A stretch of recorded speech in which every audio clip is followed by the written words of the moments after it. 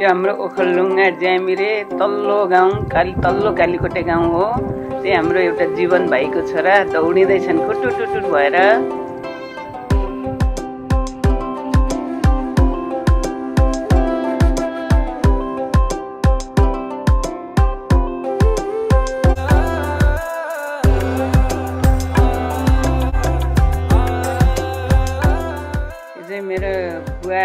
नरबहादुर खड्का र मेरो आमा सन्तमाया खड्काको कोखबाट हामी आठवटा छोराछोरी जन्मेको घर हो यो। उहाँहरू चाहिँ मेरो ठुली दिदी सबभन्दा जेठी दिदी र मेरो चौरासी वर्षको आमा त्यहाँ हात हल्लाएर बसिराख्नु भएको छ।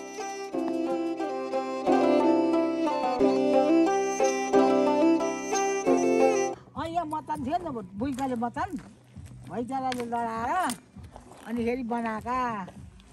दुईवटा पर अनि यो बनाएको। यो आलु ल्याउनु आलु यहाँ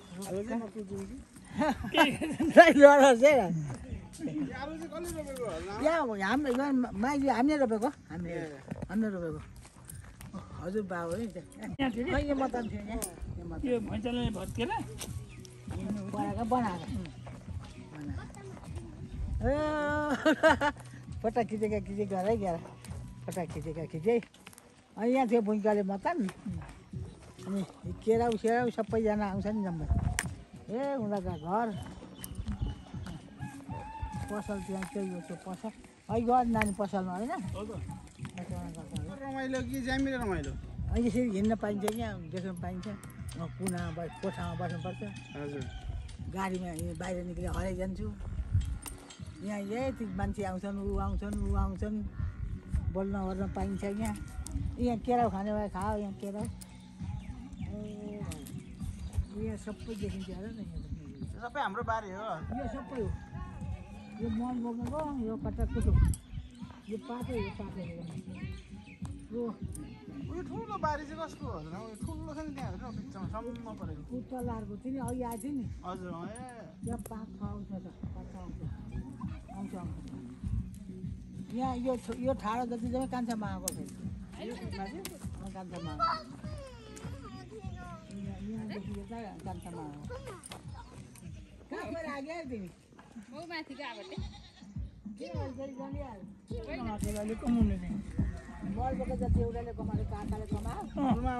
त्यो होइन अनि यो भुसी बाँधेर चाहिँ फेरि अर्काको। ए ए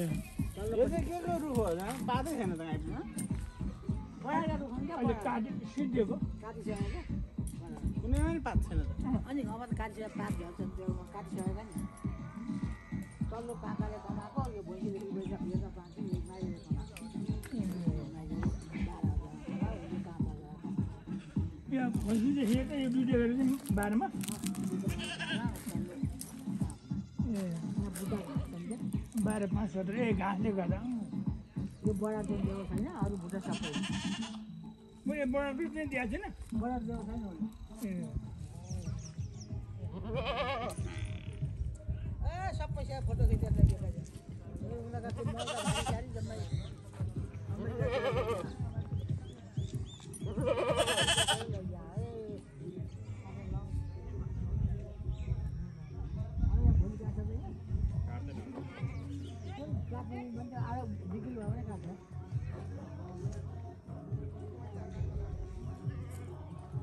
छाडा छन् त लु बाँधेर रात पारि खेतमा त है आलु अब घर घरै आउँछन्। आउँछन् केही छैन? के खान्छ त के खानु भयो?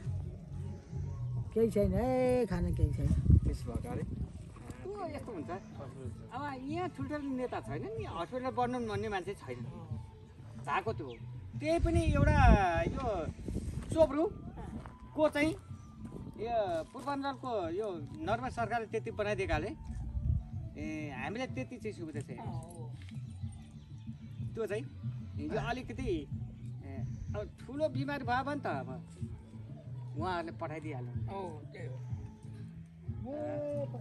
नत्र साधारण बिमारका लागि चाहिँ हामीले त्यहाँसम्म सरकारले बनाएको होइन। यो चाहिँ भनेको यसको हेड क्वार्टर भनेको पाटन हो। अनि त्यहाँपछि एउटा यो एउटा पोखरामा छ। त्यो।